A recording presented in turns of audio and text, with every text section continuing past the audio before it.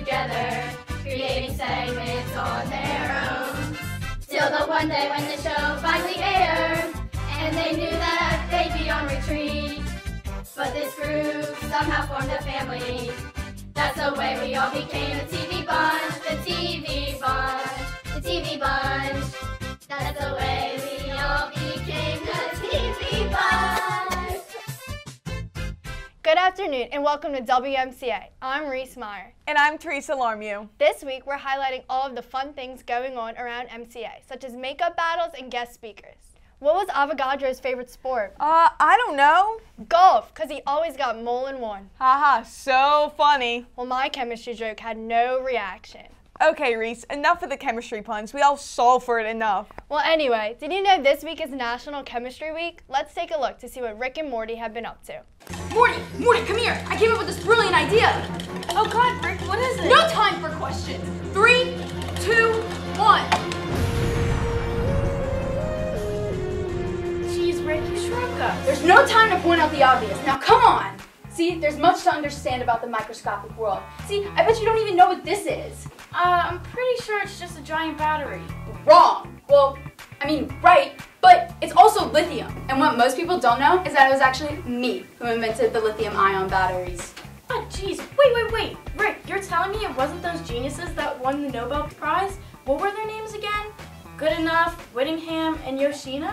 No, those are my buddies in college, dude. I used to call him not good enough. I guess he took the name and my idea. Oh, what's this? That's a penny, Morty. What? What? Did you not pass the third grade? Actually, Rick, they changed that rule back in 1982. It's mostly zinc now, and that's not even a metal. Okay, now I really know you didn't pass the third grade. You see, Morty, the periodic table is separated into metals, nonmetals, and metalloids. Zinc over here. is obviously located in the metal section. See now this. This, Morty, this is cool stuff. What's cool about aluminum foil? What's cool about aluminum foil? It's only present in about 270 minerals. It's literally the most abundant on Earth. Well, behind oxygen and silicon, of course. Wait, wait, what about water? I thought that was the most abundant metal on Earth. Morty, water is not a metal. Jeez, where did this guy even come from? Oh God, Morty, I don't, I don't have time for this. Let's go.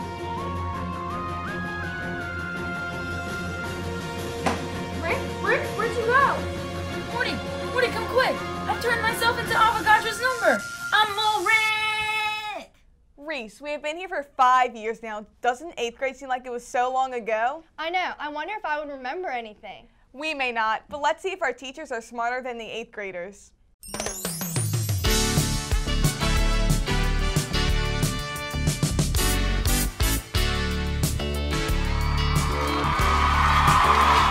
Hello, and welcome to Are You Smarter Than an Eighth Grader? Today we have Algebra 3 teacher, Ms. Lambert, and eighth grade student, Callan Huth. Question one is in music. Draw a bass clef. So, like, it, was- it was the thing where, like, step on it and it makes the boom sound. You're both wrong. We're wrong. You're both wrong. Question number two comes to you from dynamics. Draw a mind map.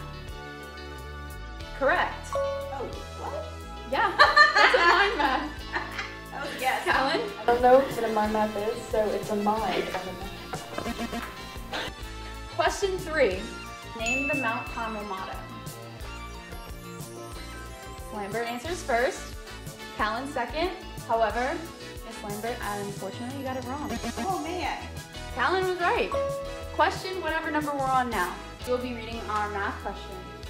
Watching their work is getting really intense. I wish I would have paid more attention in math class. So there is a winner, and I believe it's Miss Lambert. And um, I don't know if you got my joke, but it's spooky season. Final messages for the viewers. I just, I believe that anyone can learn the order of operations. And that's all for Are You Smarter Than an Eighth Grader?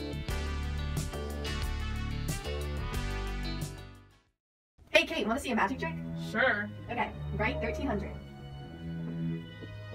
Okay, then move the 1 and put it right next to the 3.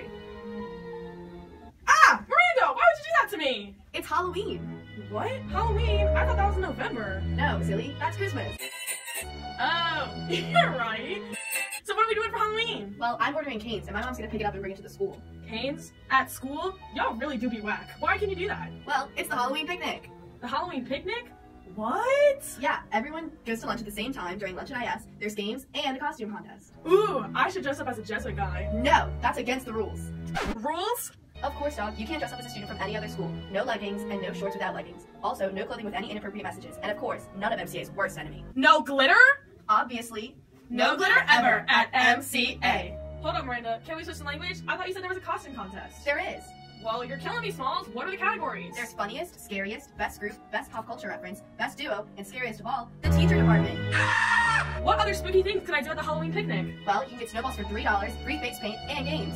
That sounds like so much fun. Count me in.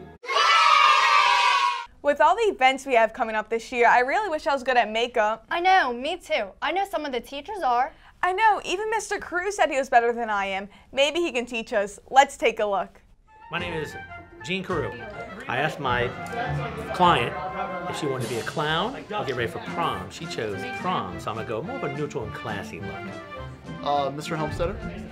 You know, I think I'm really going to focus on the highlights and the uh, contouring. The best man win. Yes. Good luck, loser. I mean, Miss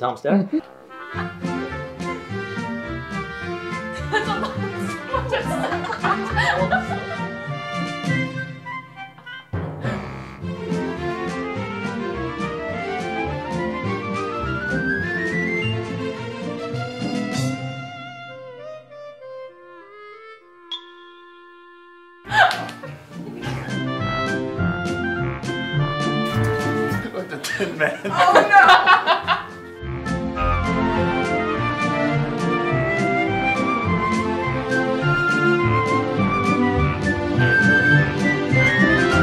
Oh, two, one. Bam!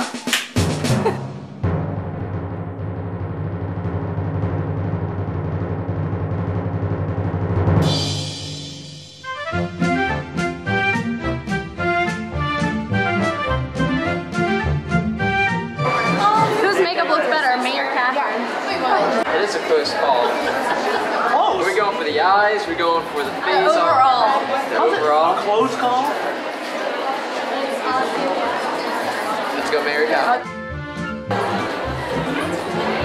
oh, Cal. Who looks better? Me or Catherine? Our makeup. All around me are familiar faces. I don't know, the blue, very 80s, to Catherine. Whose makeup looks better, me or Catherine? They both look pretty terrible.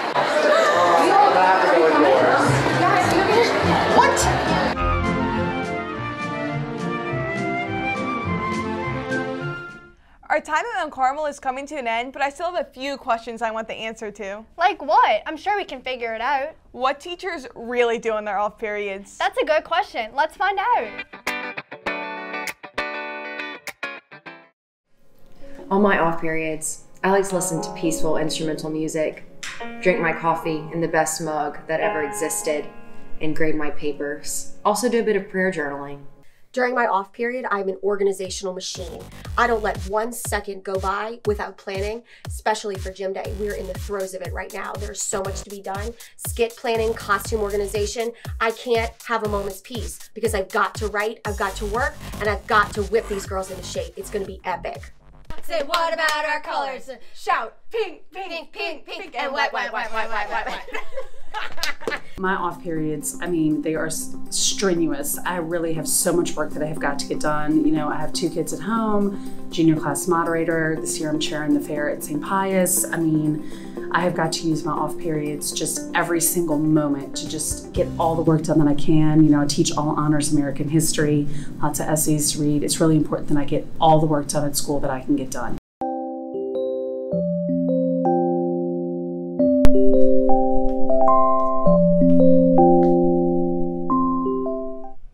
My off periods are so necessary to me. I do all of my work. I have AP this year, which requires me to read a lot of essays, so much grading. I mean, I do not at all have time to waste.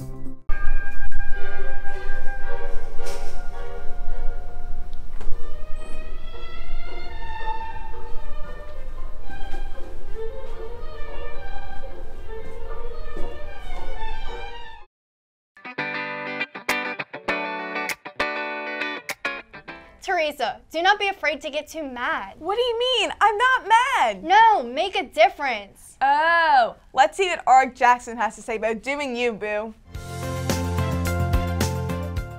in a world where the world is hungry for people to make a difference, it's important that we do that work for ourselves. So that's why everything that I've gone through, I give to people so they don't have to wait 20, 30 years to get through it. They could do it like while they're in school in high school. I know from experience, holding on to a grudge will be the very thing that snatches opportunities away from you. Yes, little things can most definitely make a difference because I've like personally like um, done like made a difference through a little act before, and you'd be surprised.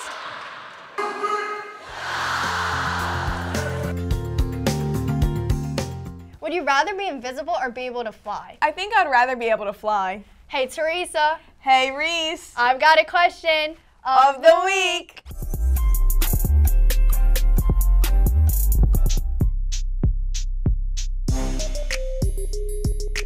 What do you um, rather? Itchy. I rather sticky. Really? Mm-hmm. Sticky. I think that I would actually rather be without knees because with somebody who tries to make a living off of drawing and painting, it would not having elbows would definitely not work in my favor. I would rather be without knees. Birds. I would rather dogs attack me when they saw me because they could just be like attacking with love, and I feel like birds would just be like, Smell bad. I think I'd always smell something bad because I feel as though like I could just ignore it over time. I would eat the Eucharist the rest of my life. I think I like to wear the Pope's hat. It's the easiest one. No stink, no fuss, no itchy. I'm okay. Pope's hat. I can deal with it.